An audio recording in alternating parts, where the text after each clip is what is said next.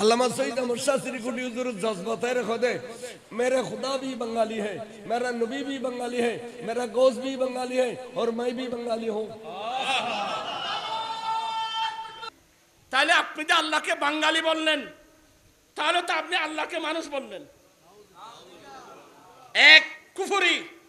দ্বিতীয় নম্বর কুফরি। আল্লাহ কি সীমিত না অসীম? আরে কথা বলছেন না কেন? সীমিত না অসীম। বাঙালি বললে, কথা বলছেন না কেন? বাঙালি বললে আরেক কুফরি হলো। দুই, তৃতীয় নম্বর, বাঙালি বললে, আপনি একটা বড়ি মারলেন। আল্লাহর একটা বড়ি মারলেন। আল্লাহ আল্লাহর কাছে কি বড়ি আছে? যারা আল্লাহর বড়ি মানে এটার নাম ফেরকায়ে মুজাসসামা। বাতল ফেরকার এক এক ফেরকা। ফেরকায়ে মুজাসসামা। আমরা কি ফেরকায়ে মুজাসসামা যারা আল্লাহর জন্য বড়ি মানবে, এরা আজীবন মূর্তি পূজা করছে, কাল্পনিক পূজা।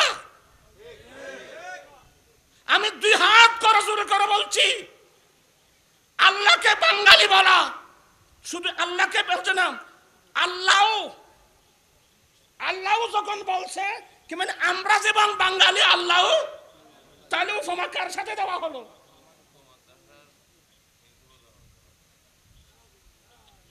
এগুলো কি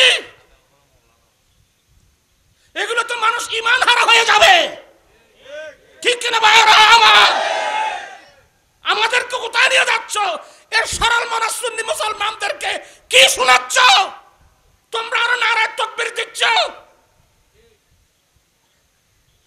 এই যে বেমান হয়ে মরতে হবে। পৃথিবীর ইতিহাসে পনেরো শত বছর ইসলামের ইতিহাসে কোন যুগে, কোন কালে কেউ আল্লাহকে ইন্ডিয়ানি, পাকিস্তানি অমুকি এগুলো বলছে? কোরআন হাদিসের কোন দলিল আছে? ফরাকুল হু আল্লাহু লাম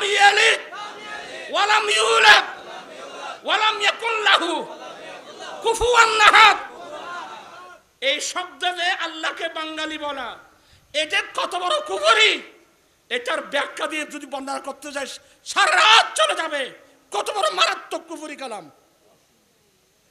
আজকে সরল মনা সাদা সিধে মানুষ ক্ষতি কিন হইম। অনেককে হেরাম অনেককে এটা আমার হুজুরের, এটা হেরাম। আপনারা বলেন, মক্কা শরীফ গোটা মক্কা হেরাম? কথা বলছেন না কেন? গোটা মক্কা হেরাম? গোটা মদিনা হেরাম?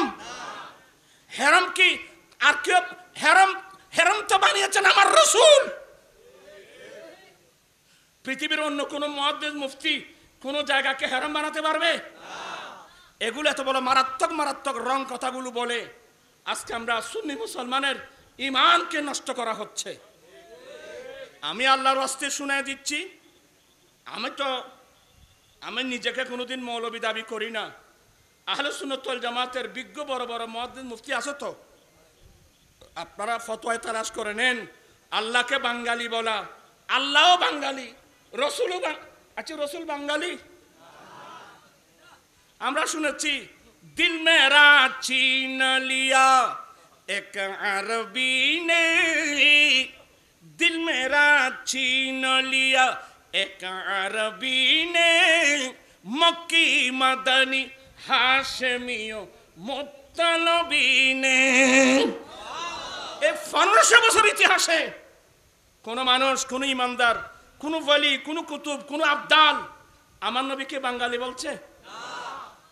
আচ্ছা নবীর কথা রেখে দিলাম। আমার নবীকে মক্কি বলা হয়, আমার নবী মদিনা বলা হয়। আমি নবীর কথা রেখে দিলাম। নবীকে বাঙালি বলে একটা মিথ্যা কথা না? কথা বলছেন না কেন? আমার নবীর জন্ম বাংলাদেশে। আমার নবী কোন বংশে? হাসি বংশে, কোরাইশ বংশে। আমার নবীর জন্মস্থান মক্কা শরীফে, হিজরত করছেন মদিনাতুল মোনাব্বরা ঠিক নাকি? এগুলো কি শুনছি আমরা? এখন এই যুগে এসে আমরা এগুলো কি শুনছি? কিন্তু সবচেয়ে বড় মারাত্মক হলো, আমার নবী বলছেন, মান কাজিবা আলাইয়া মুতাআম্মাদান ফালইয়াতাবা মাকাদা মিনান নার যে ব্যক্তি আমার উপর জেনে শুনে ইচ্ছাকৃত মিথ্যা হবার দেবে, তার ঠিকানা কিন্তু জাহান্নাম। সবচেয়ে বড় মারাত্মক, আজকে এগুলো প্রশ্ন করা হচ্ছে আমাদেরকে। কি জবাব দেব আমাকে বলেন?